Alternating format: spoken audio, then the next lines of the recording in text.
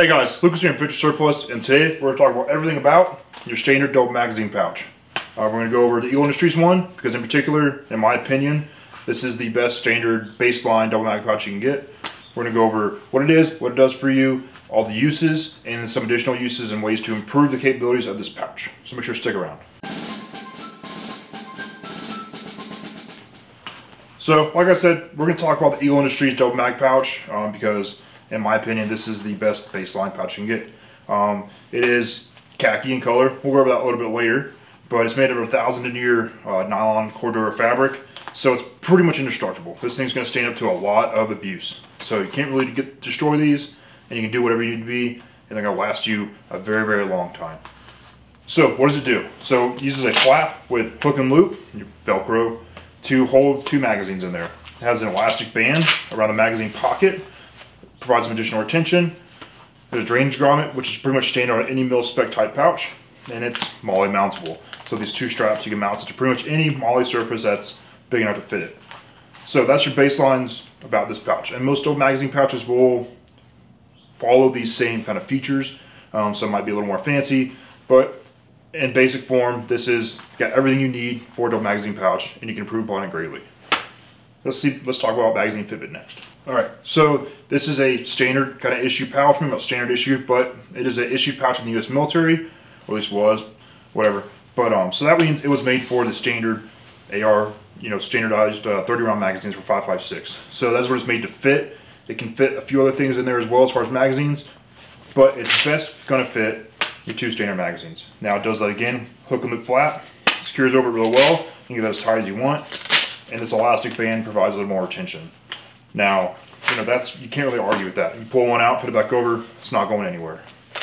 So, can you fit your polymer magazines in there? Because I know that's a really big thing. Everybody has polymer mags.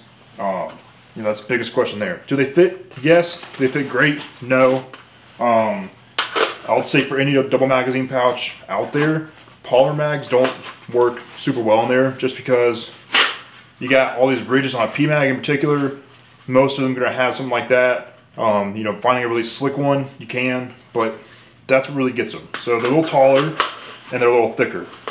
So they'll still fit just fine at the end of the day. Still close over them, still secured, but they're not quite perfect in there. And we see when you're pulling it out, kind of drags, scratches, scruffs, whatever. So yes, they fit. One of them's gonna fit better than two, as far as, you know, just niceties of getting in and out of there. But yeah, they do fit. So, let's talk about khaki next. So what if you don't like khaki? Because I'm recommending this pouch and most of them are gonna be found in khaki. Uh, well, khaki is a good base color for any pattern. It's gonna blend with any kind of camo pattern really, or any, you know, whatever your kit is, it's gonna uh, mesh into it pretty well. But you're like, I don't like khaki. So you can paint it. Um, I would recommend checking out a um, video we did a couple couple of weeks ago um, on here about how to paint pouches. And you can see I can take a khaki pouch and I can easily paint it to mesh more with pretty much any camouflage pattern and my uniform, whatever it is need be, or my environment.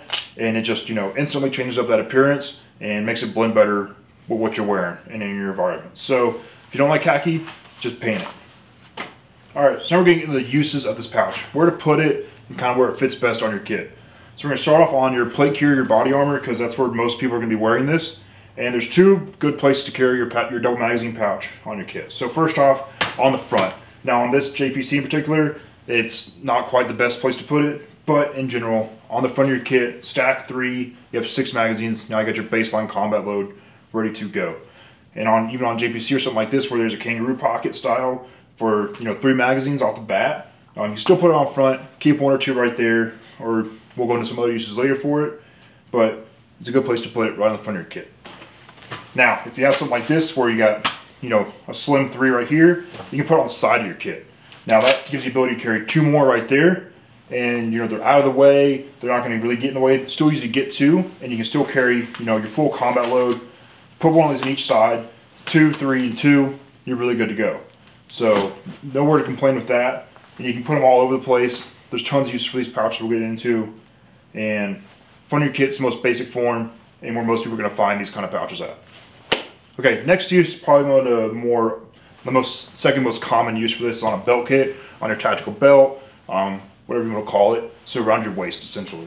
So I have this set up on a belt kit right here, um, on a war belt, and you can see I can keep pouches right here on there. I can mount right to it like they're made to do it, and I can keep you know as many as I need on there. So right now I got three on there, and that's six magazines right there. I can put a whole other one right here, have eight, and have a plussed up combat load.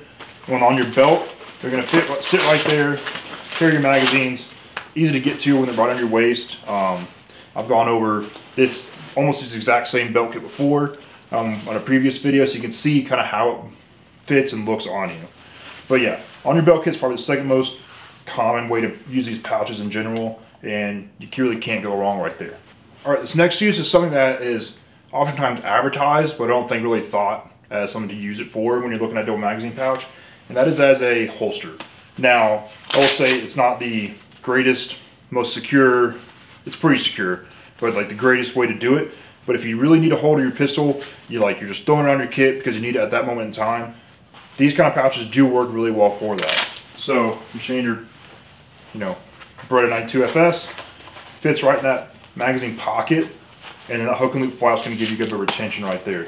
So where would you use this? So you can use it on your kit. You can put on your belt, um, you can put it, you know, on the side if you really need to like throw your pistol on your kit directly. It's a way to do it. Um, it's not really done much anymore. If you look back like early Iraq, GWOT, Afghanistan, this is something you would see more than you'd think.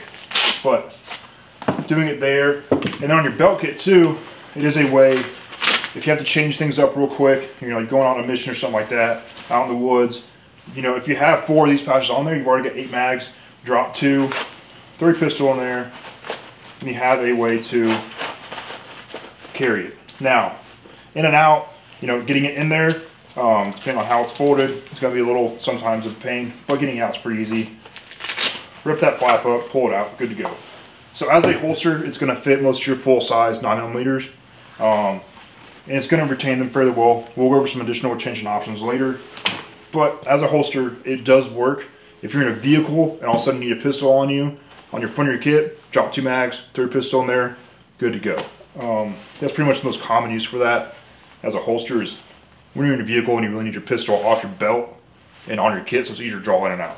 So yeah, let's go to another use. All right, this next use is one that you might have seen before um, and it's just a good way to add to your capabilities in general. So it's used as a mini IFAK. So your standard double magazine pouch, especially Eagle Industries ones, will hold a four to six inch Israeli bandage, QuikClot, and a piece of gauze. You can even shove a chest seal in there too, like a HyFin chest seal I can fold in half.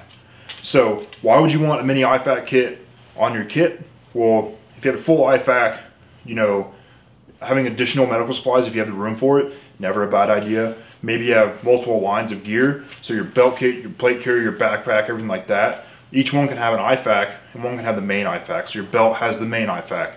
Your plate carrier has a secondary IFAK and stuff like that. This is a good way to keep a small amount of medical supplies handy and on one of those lines of kit without taking up too much space. So, as I said, you can fit a whole piece of gauze in there, QuikClot, and a four to six inches Israeli. So what that does for you, gives you the baseline stop to bleed kind of stuff, so you can treat a gunshot wound or whatever you need be, and it's an easy way to keep it. It's going to be secure. Um, this flap's not going anywhere as it is, and once they're in there, this elastic band on the pocket keeps it really tight in there. All right, we're going to cover one more use and then some things you can do to your pouch to improve its you know retention capabilities. So one last use I don't have a good prop show off is radio pouch. You can fit your smaller handheld, more civilian line radios in there real well, and that uh, the hook and loop flap's going to keep them in there pretty good. So your some of your like Baofeng or whatever how you say it, um, you can even fit an emitter in there, um, and they will fit in there and stay pretty secure. And if you check out our video on the HSGI bungee kits, you can see how to make this pouch into an open top pouch and add some retention to this kind of pouch for storing radio or some sort. So now it's talking to what if this flap as it is isn't enough retention for you. You're like, ah, that's not enough. Um, there's a good way to add retention with the flap, not folded back and some bungees on top to extra secure your stuff. Now, it requires a little bit of pieces on your part. Um, one piece is HSGI bungee kits. Another piece is a toggle I'll show you that gonna have to source on your own because those are just little things that are harder to find. But what you can do is take some shock cord, run it through the loop right here, take a toggle, tie it off the grommet, and now you have extra bit of retention on your pouch.